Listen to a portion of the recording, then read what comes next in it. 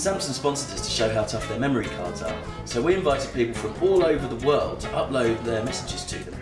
We took 200 cards, attached them to paper planes, and dropped them from the edge of space. That's 37 kilometres above the Earth. Here's a video of the planes being released.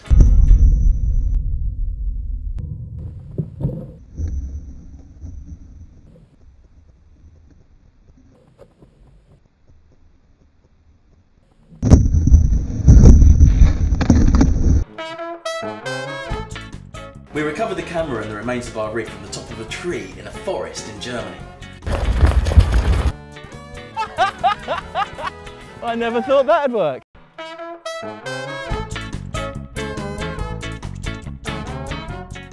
Our planes have flown out all over the world.